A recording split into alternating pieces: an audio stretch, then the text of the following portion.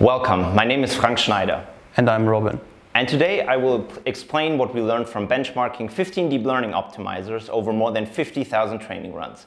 This is a summary of our paper Descending Through a Crowded Valley, Benchmarking Deep Learning Optimizers, which is joint work together with Robin Schmidt and Philipp Hennig. So 10 years ago, there were three main optimization methods used for training deep neural networks. Stochastic gradient descent, momentum, and Nesterov momentum.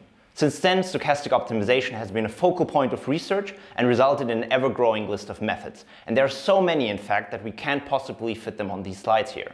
In our paper, we list more than 150 optimization methods that have been designed for or applied to deep learning, and this list is still most likely incomplete.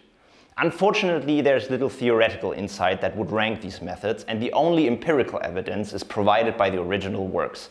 As a result, there is an often unclear and ever-changing state of the art when it comes to deep learning optimizers that is occasionally driven more by hype and social media than grounded evidence. Therefore, we conducted a large-scale optimizer benchmark to ground the debate on independent third-party empirical evidence. We tested 15 of the most popular optimization methods, and these include traditional methods, methods such as SGD or ADAM, but also recent methods such as look-ahead, AMS bound, or AdaBelief. And all optimizers were tested on eight different test problems, which range from simple ConvNets to wide ResNets, VAEs, and RNNs.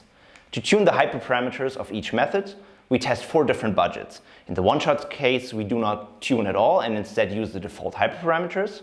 And the small, medium, and large bu budgets then use 25, 50, and 75 tuning runs using random search. On top of this, for every optimizer problem and tuning budget, we applied four different schedules for the learning rate. For each possible combination of problem, optimizer, tuning, and schedule, we identified the best hyperparameter setting and reran it 10 times with different seeds to test statistical fidelity. So Robin will now tell you about some of the insights we gained from analyzing the resulting 50,000 training runs. We first want to test how well optimizers work out of the box when using their default parameters. For this, we compare their untuned one-shot performance on the y-axis with their tuned performance on the x-axis. The large heat map shows the change in performance after tuning for a ConvNet on CIFAR 10, with the smaller heat maps showing four other problems. Looking, for example, at the bottom left cell of the large heat map, we can see that going from SGD with its default parameters to a tuned version of AMS bound results in a 2.4% performance increase. An orange row in this figure therefore indicates that Optimizer's default setting is performing badly, since it can be beaten by any tuned competitor. We can observe orange rows for SGD, momentum, and Nesterov momentum, on multiple problems supporting the intuition that non-adaptive methods require more tuning. Conversely, a white or even blue row signals well-performing default settings, since even tuned optimizers do not significantly outperform it. Adam, NADAM, and RADAM, as well as AMS-bound, ADA-bound, and AdaBelief all have white and blue rows on several but not all problems. We can also look at the performance of all optimizers across all eight test problems. Here, each vertical axis represents the performance on one task, and the higher the line of an optimizer, the better the performance on this task. There is no single optimizer that dominates its competitors across all tasks. Instead, the lines often cross each other. Nevertheless, some optimizers generally perform well and land near the top. This is, for example, the case for Adam here, shown with a red line. And more current methods fail to show a significant and consistent performance improvement over it. Here we show all optimizers tuned with the large budget using the long trapezoid schedule, but results from other budgets and schedules support our conclusions. To summarize our paper, we have performed an extensive benchmark of 15 popular optimization methods for deep learning.